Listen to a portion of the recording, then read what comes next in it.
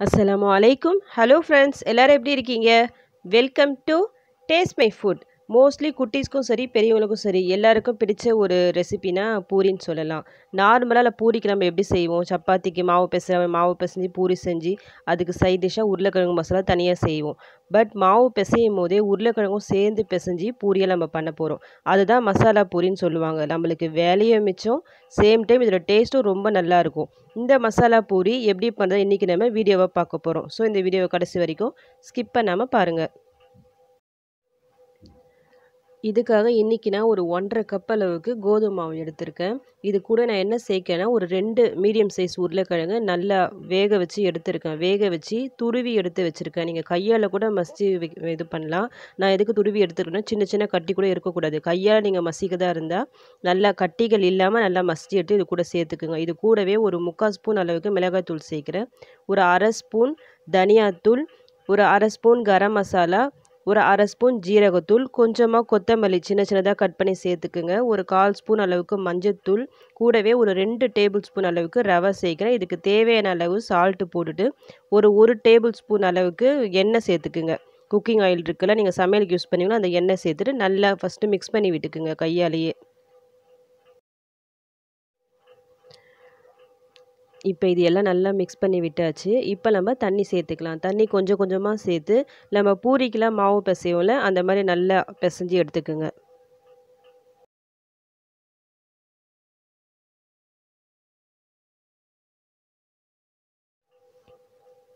ரொம்ப தண்ணி ஊற்றிடாதீங்க கொஞ்சம் அளவாக தண்ணி ஊற்றி கொஞ்சம் கட்டியாகவே பிசைஞ்சு எடுத்துக்கோங்க. நார்மலாக பூரி நம்ம செய்யும் போது கொஞ்சம் கட்டியாக பிசைஞ்சு இது பண்ணால் தான் நம்ம பூரி நம்ம ஃப்ரை பண்ணும்போது நல்லா பொங்கி வரும். ஸோ நல்லா கட்டியாக பிசைஞ்சு ஒரு பத்து நிமிஷம் நல்லா பிசைஞ்சு விட்டுட்டே இருங்க.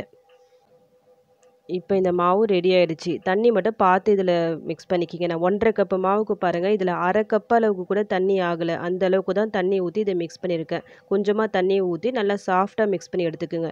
இதை அப்படியே ஒரு அரை மணி நேரம் டு ஒரு மணி நேரம் அப்படியே இருக்கட்டும். மூடி போட்டு வைக்கலாம்.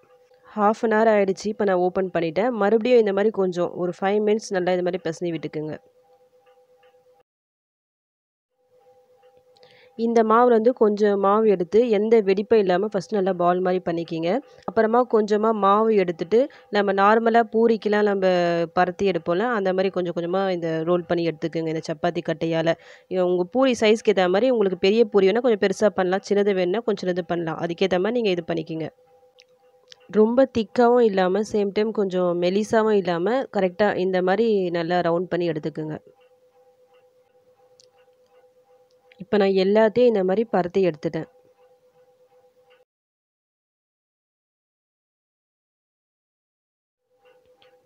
எண்ணெய் நல்லா சூடாகிடுச்சு இப்போ நம்ம போட்டுடலாம் பருத்தி எடுத்ததை. இப்போ பாருங்கள் இதை போட்ட உடனே கொஞ்சம் லைட்டாக இந்த கரண்டியால் கொஞ்சம் ப்ரெஸ் பண்ணி விடுங்க. அப்போ நல்லா உங்களுக்கு பொங்கி வரும்.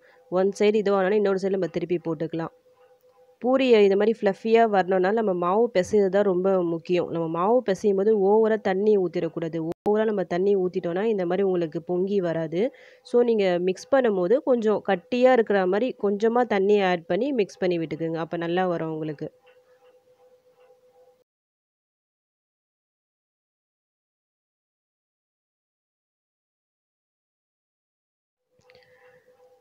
சப்பாத்திக்கு மாவு பிசையும் தான் நம்ம இன்னும் நல்லா சாஃப்டாக பசஞ்சு எடுப்போம். அப்போ தான் நல்லா சாஃப்டாக வரும். பட் பூரிக்கு வந்து உங்களுக்கு அப்படி தேவையில்லை.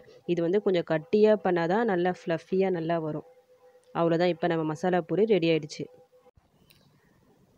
இதே மாதிரி பேலன்ஸ் இருக்க. எல்லாத்தையும் நம்ம ஃப்ரை பண்ணி எடுத்துடலாம்.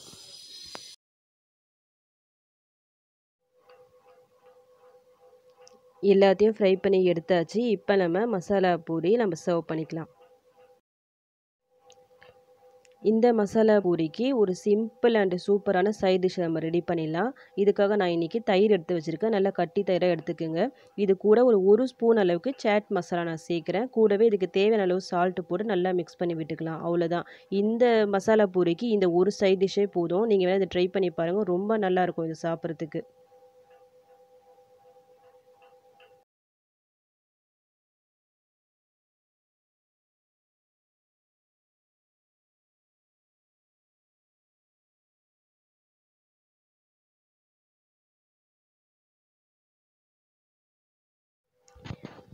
இந்த மசாலா பூரி செய்யறதுக்கு ரொம்பலாம் டைம் எடுக்காது. ரொம்ப ஈஸியாக நம்ம செஞ்சு முடிச்சிடலாம். சேம் டைம் இதோட டேஸ்ட்டும் ரொம்ப நல்லாயிருக்கும். ஒரு தடவை உங்கள் வீட்டில் இந்த மசாலா பூரி செஞ்சு பாருங்கள் கண்டிப்பாக இந்த டேஸ்ட்டும் உங்கள் வீட்டில் இருக்க எல்லாருக்கும் ரொம்ப பிடிக்கும்.